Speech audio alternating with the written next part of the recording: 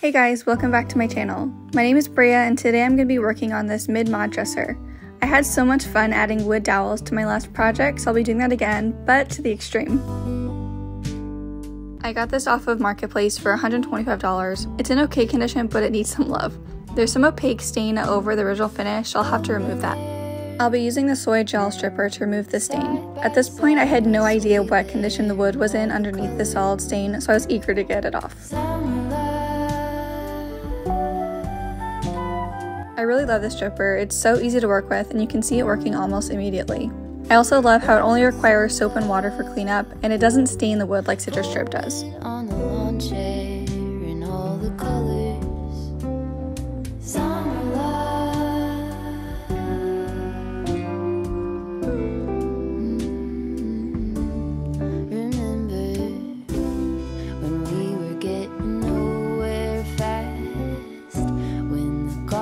After about 15 minutes, I took a metal scraper and removed what I could.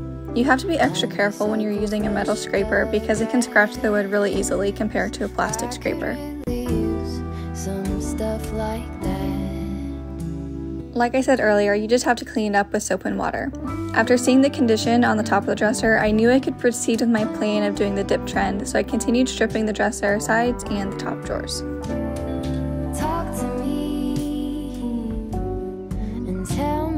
After letting the stripped areas dry in the sun for a couple hours, I went in with a 240 grit sandpaper to try and remove the rest of the stain. My sandpaper was starting to get clogged up though, and so I went in with my scraper to get the rest of the stuff off, and then I went back in with a 180 grit and that worked much better.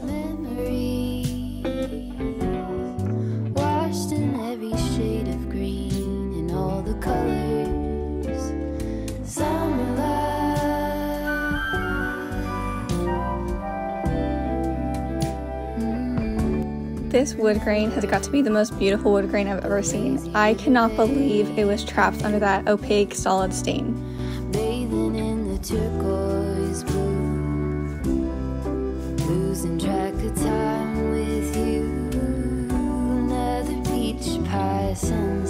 So my design plan for this dresser is kind of complex. So I'm doing the dipped look on the top, so that'll all be stained wood. But then on the bottom third of the dresser, I'm going to be adding these wood dowels that I used in my last video. I'm going to be adding them horizontally over the whole thing. And so it's going to cover the sides, the front of the drawers, like everywhere. I'm using two of the wood pieces as my spacers and then I'm sanding the trim down, applying a ton of wood glue, and then putting it on. And that's about it. It's very repetitive and it's honestly pretty easy once you get the hang of it. A cure for the air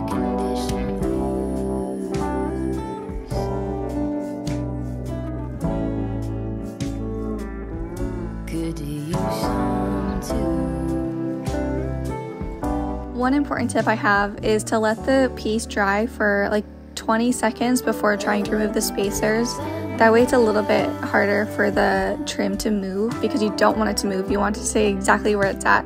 But when you have it so tight against the spacer, it makes it really hard to remove the spacers unless the glue is kind of dry.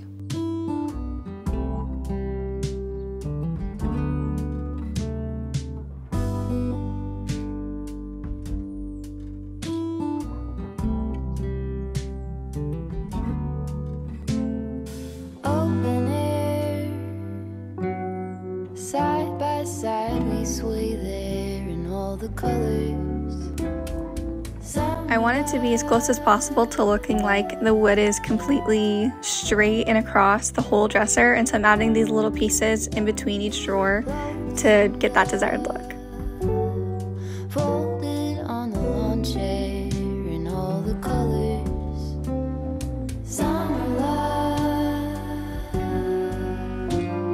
So I've been sitting here for quite a long time trying to figure out how to glue these side pieces on um, without having to lay it down because I don't want to mess anything up. So I think I'm going to take some tape and kind of tape this one on the bottom, make it like a resting point for the rest of the dowels to sit on so that the glue has time to dry. So let's try this out. Some stuff like that.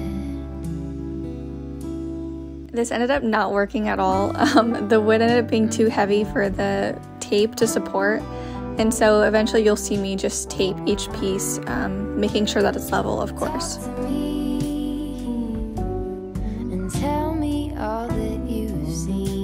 All the colors.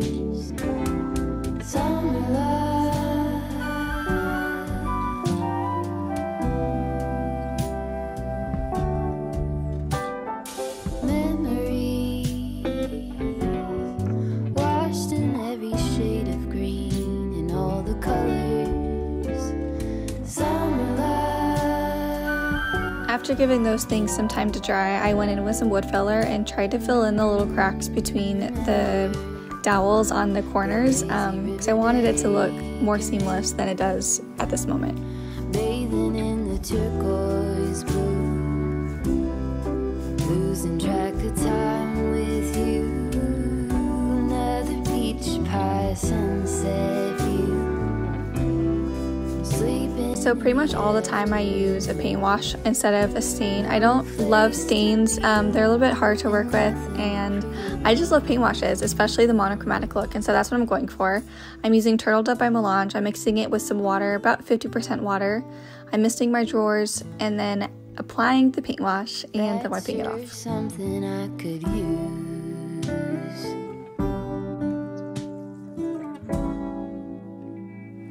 Cure for the air conditioned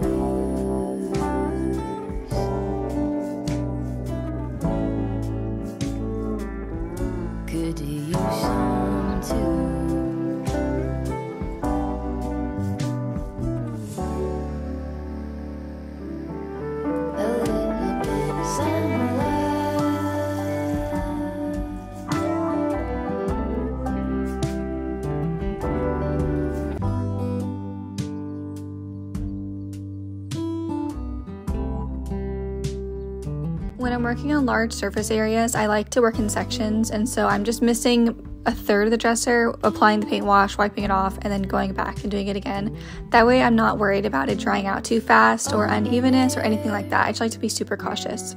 Side by side, we sway there in all the colors.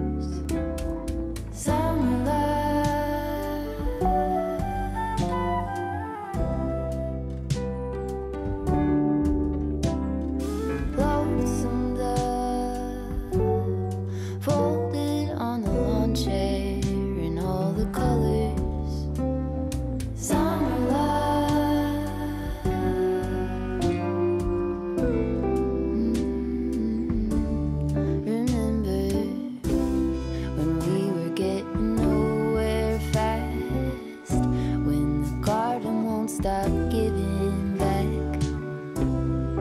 Honeysuckle, fresh cut grass. I I'm using the handle portion on the top three drawers as my guide to figure out where to put my line for the dipped look. And then don't miss this, this is important. So when you're doing a dip look or you just want crisp lines, I apply um, top coat to the line to ensure that the masking tape is completely flush and tight against the surface before you start painting. Originally, I was wanting to go bold with the color on this dresser, but as time went on, I realized I need to go with Turtle Dove. I love the monochromatic look. So I started spraying it, but then I got worried that I was going to run out of paint, and so I finished by brushing the sides.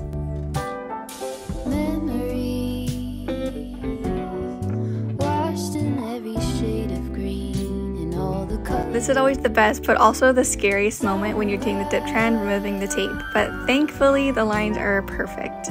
I forgot to film it, but off camera, I apply top coat to the bare wood. Alright, so let's take one final look at the before. Pretty beat up, and here it is now.